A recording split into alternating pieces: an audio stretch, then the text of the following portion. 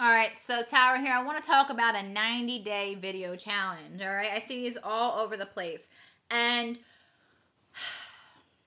90 days is a long time. That's three months. That's three months of me every day getting, you know, video ready, making sure my kids are quiet, eating, playing, you know, it's a lot to do for a mom. So instead of doing a 90 day video challenge and, you know, making one video a day, which can take a lot of time sometimes, why not do 90 videos in one day or 100 videos in one day and just knock it out of the park, you know?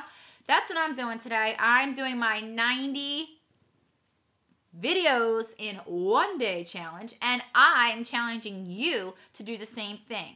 All right? Get out your camera, write down your topics on what you want to talk about, and just let it go, let it out. Let people know what you know, bring them value. All right? We don't want to you know, make this like a difficult thing because it's not. It's not hard to make a video. It's not hard to upload it to YouTube. It's not hard to get people to know who you are. And remember, once they know who you are, guys, they're going to know you. They're going to like you. They're going to trust you. All right? And they're going to sign up with you. So get on your grind. Make some videos, a lot of videos, and get yourself out there. You know, YouTube is like this big piece of land, okay? look at it like this.